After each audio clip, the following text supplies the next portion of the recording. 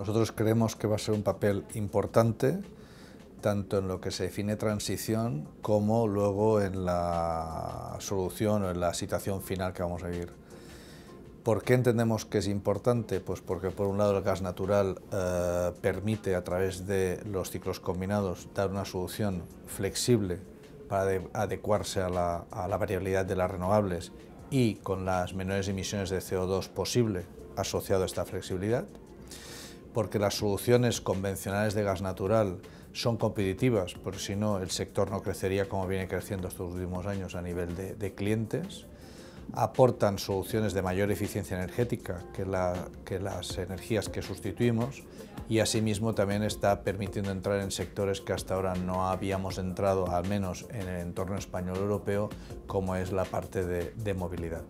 y también finalmente pues la apuesta que estamos haciendo por el desarrollo de gas renovable tiene que ser otro de los pilares sobre los cuales se fundamente esa participación activa del gas natural en, el, en la nueva transición energética. A ver, tiene varios beneficios la mayor penetración del gas natural. Eh, el primero es que acercamos una energía que es más competitiva que otras al conjunto de los ciudadanos. No olvidemos que la base más importante de clientes de gas natural es el sector residencial, mientras que el consumo más importante viene del sector industrial. Por lo tanto, desarrollar o invertir acercando el gas a estos dos grandes puntos o sectores de consumo lo que aporta es competitividad, aporta eficiencia, porque estamos introduciendo una tecnología que es menos, mm, consume menos que las que sustituimos y también lo que aporta es una componente importante de mejora calidad del aire, puesto que el gas natural es el combustible eh, tradicional que menos partículas y óxidos emite de todos los que, los que compiten con nosotros.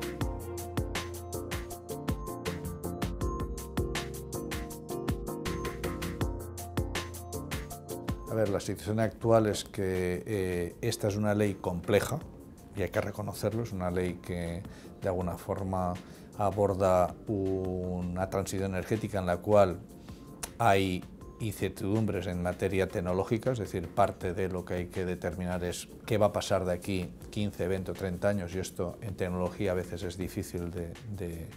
de decidir o de predecir. Y por lo tanto pues entiendo que va a tener que hacer escenarios. Nosotros, como ya hemos dicho más de una vez, pues encontramos a faltar un experto de gas en la, en comisión, si bien es cierto que hay eh, gente muy, muy capaz y muy apta que conoce el sector energético en general, pero no existe ningún experto especialista en gas, específicamente hablando. Y probablemente uno de los retos más importantes que vamos a tener es cómo asignamos adecuadamente los costes de las emisiones y la contaminación en, los precios finales. Es decir, ese es un elemento que mientras no esté en el precio, el impacto se puede hacer, puede hacer difícil de dar, de dar señales. Por otra parte, en un sector como el nuestro, energético, que es muy intensivo en inversiones, lo que necesitamos es una, es una predecibilidad. Eso no quiere decir que las cosas queden fijadas en el tiempo per secula seculorum, pero sí que de alguna forma necesitamos tener unas señales claras de hacia dónde hay que ir y de alguna forma esas inversiones de qué forma se pueden, se pueden recuperar. Si bien en el sector gasista ya sabemos que dependemos en gran medida de la evolución de clientes y demanda para, para lo que es la,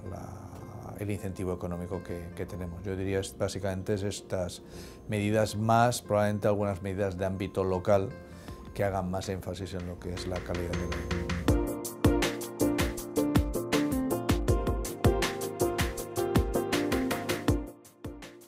aire. básicamente lo que tienen que, creo yo, pues eh, invertir y crear riqueza a partir de los productos y servicios que ellas desarrollan. Y en ese sentido el sector energético siendo una parte fundamental, puesto que nosotros no estamos vendiendo productos de valor agregado, sino que estamos dando la energía que es esencial para que todo de alguna forma se, mueva,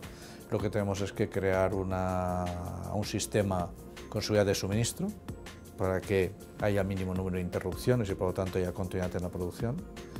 Un sistema que sea competitivo y creemos que el sistema gasista español es, es competitivo.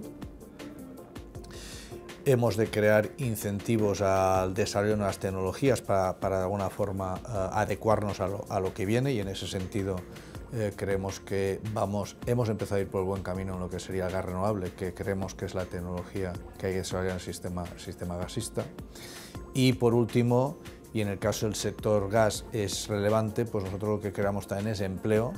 capilar, es decir, trabajamos en todo el territorio español, en todos los pueblos, ciudades y por lo tanto pues estamos creando un empleo en todos esos lugares que tenemos que asegurar que es un empleo que trabaje en condiciones de seguridad, mínimos accidentes y maximizando la calidad de lo que, de lo que son nuestras instalaciones y el servicio que damos a nuestros clientes.